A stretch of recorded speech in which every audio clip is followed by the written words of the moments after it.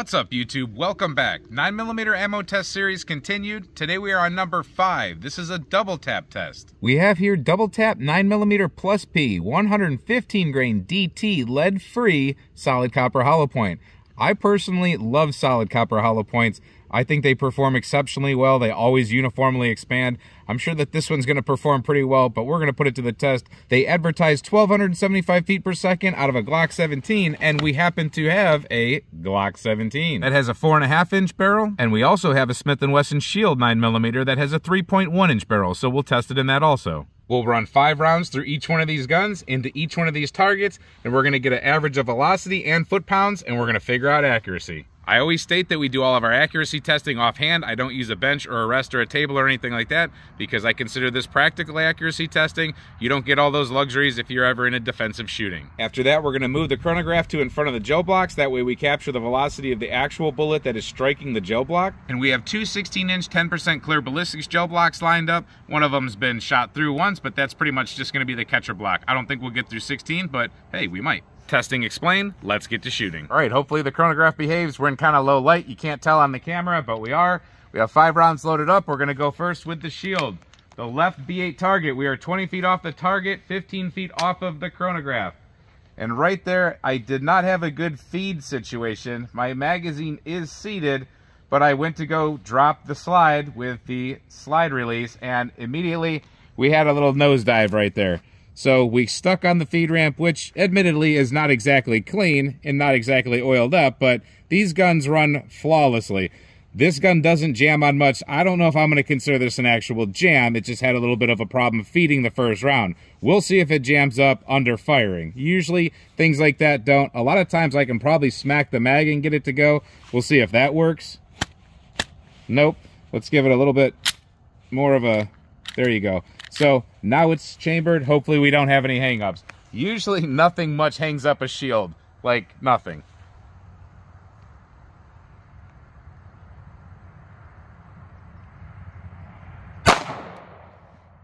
All right, we have 1117.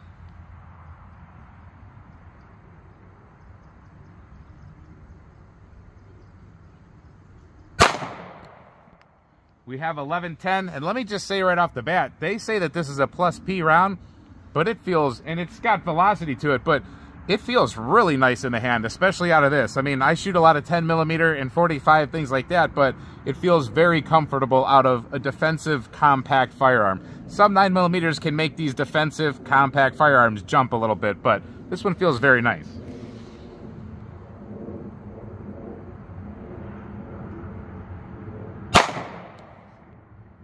We have 1090.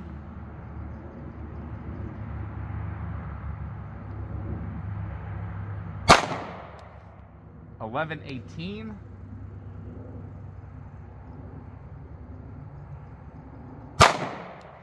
And 1091. I'm not even joking. It feels like it's going to be a weird analogy, but it's like shooting butter. I can't explain it. It's like, it just, it's very soft. It's very nice to shoot. I really don't experience that too much with these smaller guns. All right, we had pretty good impacts. I only had one that was not touching the X ring, and we had one, two on the X touching parts of it. So one, two, three, four, five. Very nice. Like I said, they shoot beautifully out of that shield, and accuracy is usually there with a the shield. So very, very acceptable. Let's see how this goes out of the Glock. All right, cross our fingers on chronograph. And that would have fed, if they did go through the shield, and they fed the first time on this Glock, so. Actually, I need to step up a hair.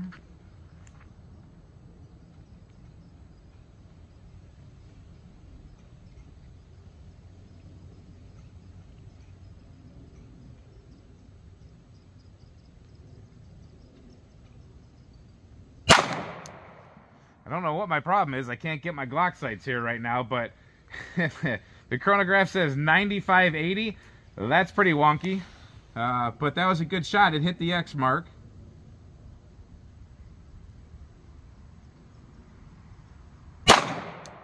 We have 1184. Glad we got a reading. I got a little high and left on that one.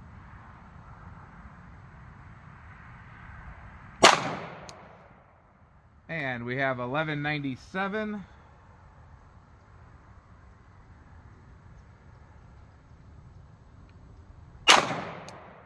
1191.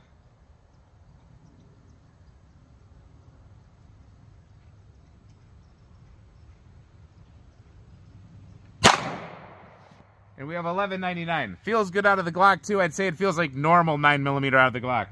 Let's take a look and see how I did. I know I threw two of them up there to the left. So not to make excuses, but lighting is always tricky where I'm at. Every day is a different story. I always have the lighting to my back, and it really, I'm having a hard time picking up my front sight. We just did a test about 20 minutes ago. I was picking up my front sight perfect on this Glock. Now I can't pick it up. It's a blurry mess. But still, even with that, I have three in the X-ring, and I have two, like I said, I felt those go up a little bit. Um, but very nice accuracy. You'll definitely take that for defensive shooting every day. All right, up first is the shield, 15 feet off the chronograph and gel.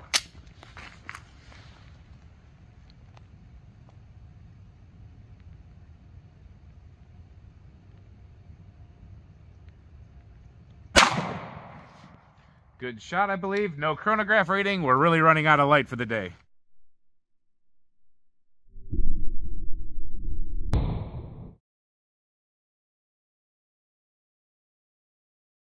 All right, right where we wanted to impact and coming from the side, we have a pretty nice wound channel there. That's a good wo permanent wound cavity. We travel, it's got actually a pretty cool wave to it. We travel all the way to the 13 and a half inch mark, I would say. And then there's a bounce back back to 13 inches. The projectile is facing forward and it has opened up. Let's see if I can zoom in for you there and then follow that wound track back. Sorry, it's a new gel block, and after you have to take the heat gun to them, they're a little bit wavy, but it'll be better on the remelt. Let's take a look from the top. All right, coming from the top, you see a very nice spiral type of permanent wound cavity. I like when they do that. That's pretty gnarly. It's like a razor blade has been twisting through there. Takes a little bit of a deviation. Sometimes copper doesn't exactly go on straight path when it's a hollow point, but you see it opened up it appears to be opened up pretty darn nicely. That's what I do love about the solid coppers. They always do something uniform. So very nice from the top. Let's see how the Glock does. All right, let's see what kind of a difference the Glock with a four and a half inch barrel makes.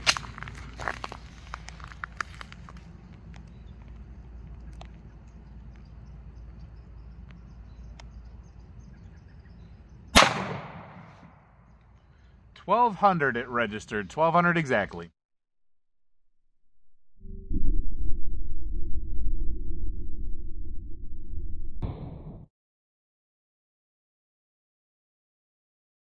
1200.